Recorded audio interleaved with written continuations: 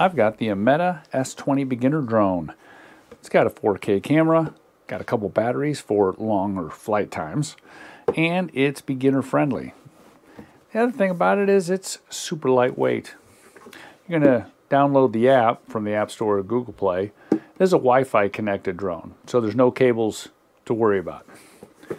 And over here, this is what I'd like to look at and say, hey, does it really have a good camera?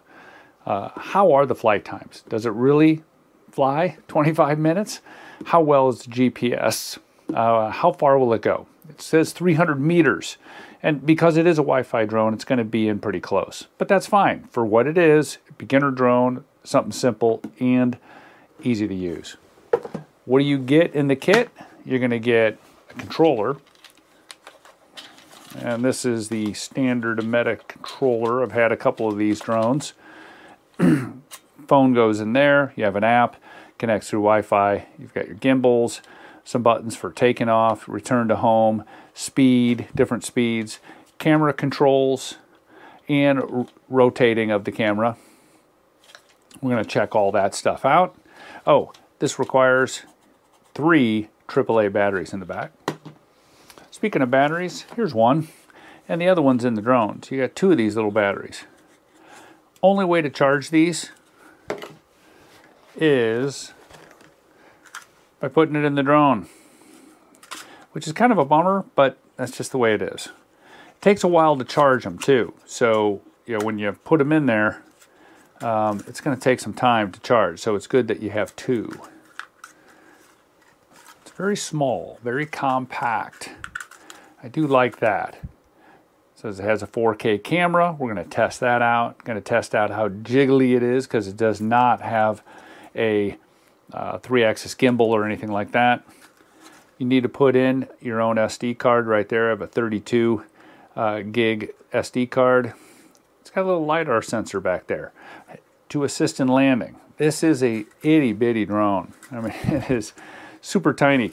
Should be fun to play around with. Speaking of which, let's go to the field and uh, get a first flight out of it.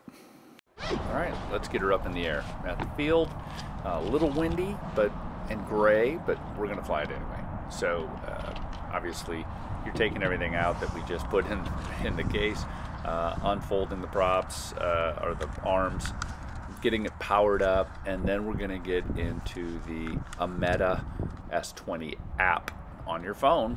And there's no cables. Remember, this is Wi-Fi connection, so there's no cables required, which is great, but it does minimize the flight distance that you can fly away from yourself. All right, powered up. Now we're gonna get the phone, your because your, your phone's controlling it all, remember? All right, we're gonna open up the app, and there's a couple things we're gonna do. I'm gonna switch to a different camera view of, of showing my screen a little closer so you can see what's going on. After you've downloaded the Ameta app, when you go into it the first time, it's gonna ask you, you know, to connect to this one, the S20. But as soon as you go to do that, it's going to say, hey, you need to set up your Wi-Fi to connect to this particular drone. So go into your Wi-Fi settings. You'll see that you're not connected. Wait a second here. It's going to pop up Ameta. I want to uh, basically connect to that. And now when you go back into your uh, Ameta app, you'll see this At that point, the app will pop up and you'll start seeing the screen. Let me go through what some of these icons are on the screen real quick. All right, so in the upper left corner, basically that's going to take you back to the initial screen. Going across the top, you have, you know, it says here GPS located, ready to fly. So it already has a GPS lock. And if you move over to the upper right, you've got battery. You have the uh, transmission, the level of transmission from the transmitter to the drone, and you have satellite lock. Along the far right side there, you have either time lapse, photo, video, and you can cycle through and hit those. So th that's how you're going to record. Either you want photos or whatever. Good down at the bottom is your SD card, how much memory you have still on the card. And then you have your speed, distance away from you, the velocity, the height, so on and so forth. Then you have the compass, which is basically where is that drone pointed. Um, and then the next thing up, the four little, you know, kind of like a little drone. That gives you certain kind of what's called GPS features like follow me, uh, circle around me, zoom up, things like that for your GPS uh, videography, if you will. And then the last thing in there in the middle on the far left side is takeoff because we haven't taken off yet. The drone hasn't gone up. And then it'll actually probably turn into a return to home.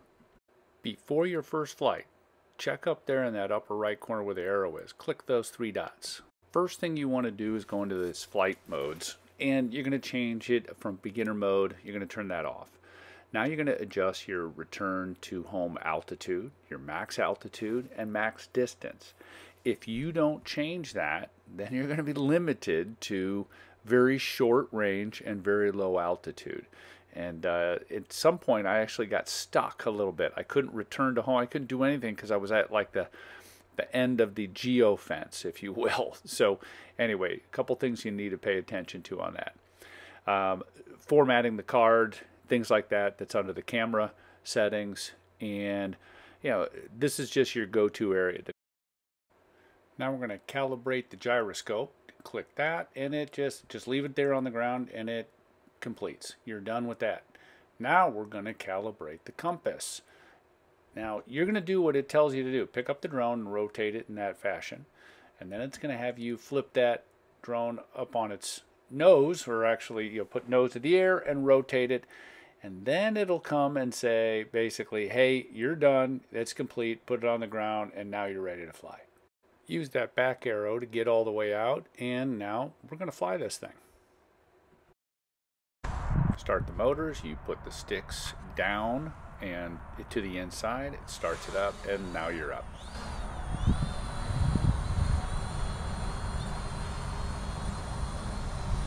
Got a little wind.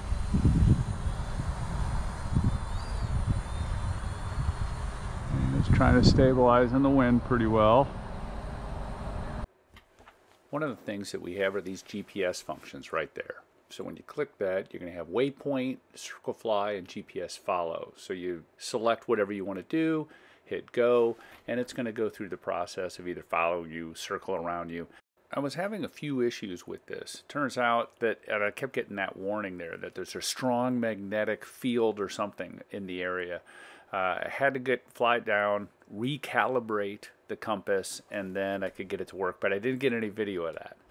Let me go through and kind of just uh, show the raw video footage. Now, to be fair, this was a windy day and it was also dark, overcast. I believe that this drone really should only be flown on those really calm days and when there's a lot of sun you, you, know there's not a lot of adjustments you can make to the camera on exposure and things it's all automatic so you got this kind of dark color you can post process it I suppose the other thing, it doesn't have a three-axis gimbal. So as you see, it's quite jerky. And that definitely doesn't give you the best quality. You know, the video camera itself is not 4K. It's about 720p. All in all, it's a fun little drone. Low cost. Has return to home. Has those GPS functions. Is it going to go uh, a mile and a half away? No. Is it going to give you the super high def you know 4K video? Nope. But it is a fun, simple drone, easy to fly. Uh, the speed modes, it, it will fly at a decent speed. The GPS or the return to home I tested, and it does a good job of that. Batteries last a pretty long time. So from looking at all of those types of things, if you're looking for a drone that is easy to fly, fun, affordable, this isn't a bad option. You should definitely look at it a little further. I'm going to leave you with a little extra footage here, uh, raw footage, and again, it's windy and it's pretty dark out. I didn't get a chance to fly it when it was really calm and sunny. But, you know, if you have any questions, please leave a comment, and uh, there's a link in the description below for the drone. So have a great day. Thanks for watching.